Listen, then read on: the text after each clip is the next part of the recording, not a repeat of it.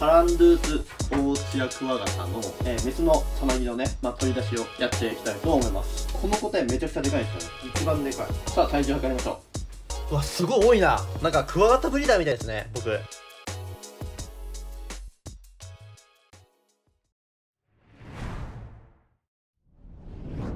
おはようございます。今日はねパランドゥースオーツヤクワガタの、えー、メスのさなぎのね、まあ、取り出しをやっていきたいと思います。まずどうしようかな。ちっちゃいやつからいこうかな。これはね僕がオスだと思ってた子なんですけどまあ多分メスメスだよな、はい、オスだと思ったんですよ。でなんでタランドゥースのさなぎをねこれ出すかっていうと粉谷がすごいんですよね。人工用室にいたいと思います。それでは始めたいと思います。まあここにねさなぎちゃんがいるんでね。まあ、もちろんさなぎにねダメージが与えないようにこれもうここでね傷つけたらねとんでもないことになるんでいや優しくねやっていきたいと思います。実は裏話をさせてもらうとこの動画今初めて撮影してるんですけどめちゃくちゃ何言っていいか分かんないんでね緊張します無言でやってるんですけどね。あーあーもう出てきそうですよ。はい。立派なメスですね。さあ体重を測りましょう。14g カメラで撮った方がいいかな。はい 14g ですね。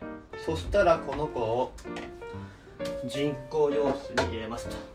入れてと。でラベルを剥がしてと。この子は幼虫の時に、えー、2本目にに禁止瓶に入れた時に 20g だったんですね。メスにしては小さい。25g ぐらいやったらねいいんでしょうけど。はいこんな感じです。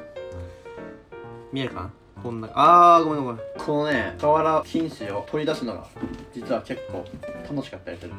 これ。よし、オッケー。いいね。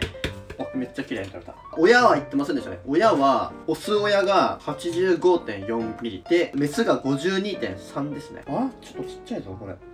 まあいいでしょう。ちっちゃくても無事ね、溶化してくれたんで。さあ、体重測りましょう。15g。まあ悪くないんじゃないですか？人工洋室マンション。投入と。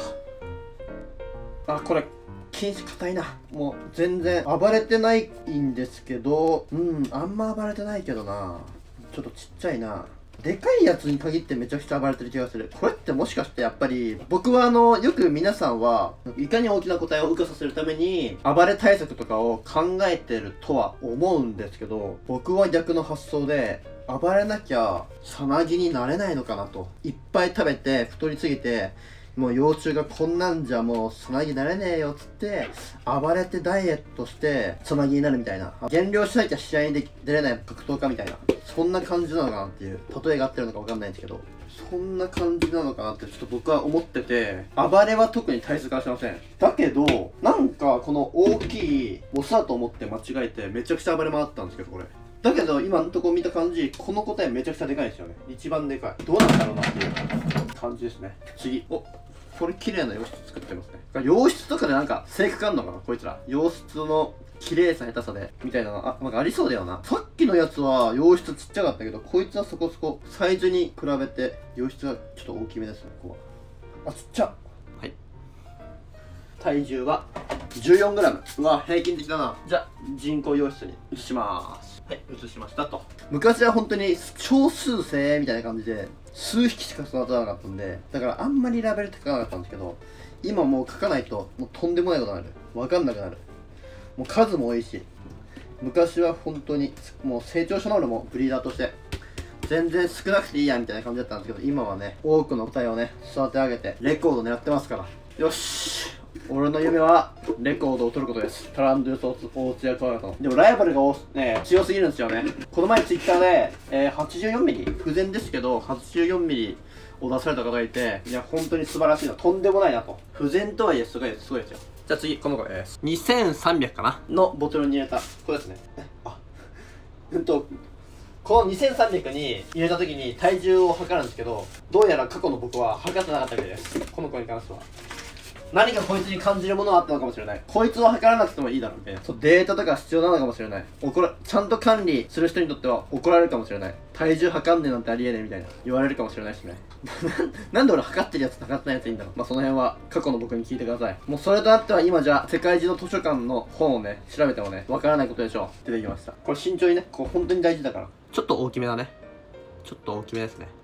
15g 確か僕は過去に 56mm を出した時はそのさなぎ幼虫が 19g だった気がするんですよね。だからこの子たちはまあ50は超えてくるって感じですよね。50以下です。もうあんまないですよね。でもちょっとやっぱ54とか出したいですよね。54とか。今季ブリードしてて54のメスがいるんですけどその子は我が家の血統なんですけどなんかわかんないですけどそこの幼虫って食べ方がいいんですよね。その幼虫の食べ方が良くてな上品というか品のあるというかその辺メスによっての食べ方がいいとか悪いとかあるのかもしれないもしかしたら。でこの子たちは正直本当あれですねお母さんが 52.3mm なんですけどなんか食べ方あんま良くないですよね。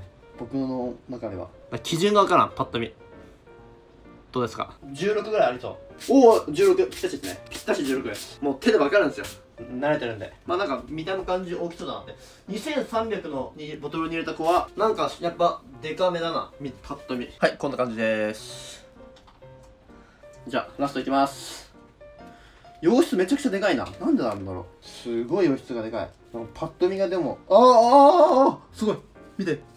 なんでそのああごめんごめん。ごめんごめんああ大きいなでも。一番大きい。はいどうですか？どうですか？はい。一番大きいかもしれない。17グラムありそうこれは。16でした。あまあまあまあまあまあまあまあまあ。まあ人工洋室セットし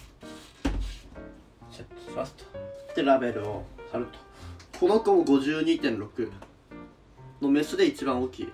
いやオスだと思ったんだけどな。幼虫体重が多分 26g 超えてたからその3200に入れたんですけどオスだと思ったんですよね僕が。単純に。そしたらまさかのメスでしたね。はいお疲れ様でした。えっ、ー、とね無事終わりました。で今ね我が家のタラヌスのメスの状況ですね。はい今日えー、っと取り出したのが4匹とこの子とこの一番左の子ですね。であとここの2匹とこの子たちは前からいた子。でこの子が今季最大かと思われるメスですね。19g で僕の飼育してきたメスでもマイギネス超えるてくるでしょっていうもう洋質もでかかったですしもう見た瞬間にあこの子はっていう思うぐらいの子でしたね。この子期待ですね。でこんな感じになってます。今回の。メス。わすごい多いな。なんかクワガタブリーダーみたいですみたいですね僕。不全とかも良化不全もいなさそうだし。とりあえずそれが良かったかなと。サイズは別にねあんまり、まあ、気にしないと言ったら嘘になるんですけど、まあ、40、まあ、50ミリ以下はいないから良かったのかなと思いますと。それでは今日はこの辺で終わりにしたいと思います。思いますと。お疲れ様でした。ありがとうございました次回もよろしかったらご視聴のほどよろしくお願いします。あとねチャンネル登録高評価よろしくお願いします。まあねこんな感じでねちょっと初めて動画を撮るわけなんですけど、まあ、何言っていいかわかんないですよね。じゃあお疲れ様でした。